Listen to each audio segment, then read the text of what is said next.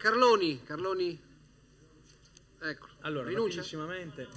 voglio dirle, Presidente, non voglio rinunciare, no, perché la proposta di deliberazione 14, secondo me, eh, non serve a mantenere una coesione sociale, come è stato detto, e anche perché tutto sembra oggi tranne che un consiglio regionale di una regione. Questa è l'assemblea delle Marche e in questo nome al plurale oggi c'è la manifestazione di quanto siamo diversi su questo territorio e non c'è un'unità di intenti, non c'è un'assemblea legislativa di una regione.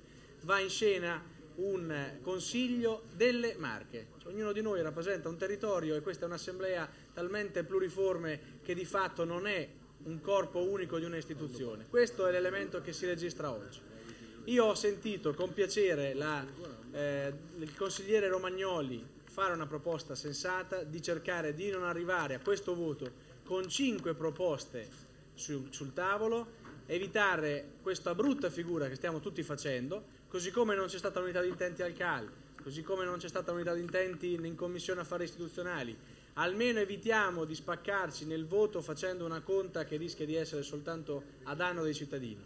Fermiamo i lavori se serve, troviamo una risoluzione unica e mi sembra che quella che ha detto il vicepresidente Petrini sia la più eh, intelligente, quella più o meno sostenibile da tutti e quindi su questo credo che almeno evitiamoci questa brutta figura.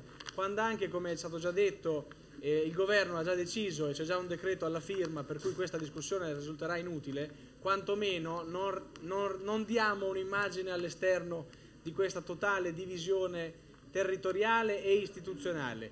Non siamo in grado nemmeno di fare una proposta, abbiamo visto più proposte, cinque, di cui alcuni chiedono una partenza dal basso, come ho sentito dire da Comi e da Ricci. Come si fa a pensare che ci possa essere una partenza dal basso quando dal basso ognuno difende i suoi interessi? È come chiedere ai capponi se vogliono festeggiare la festa di Natale. È impossibile.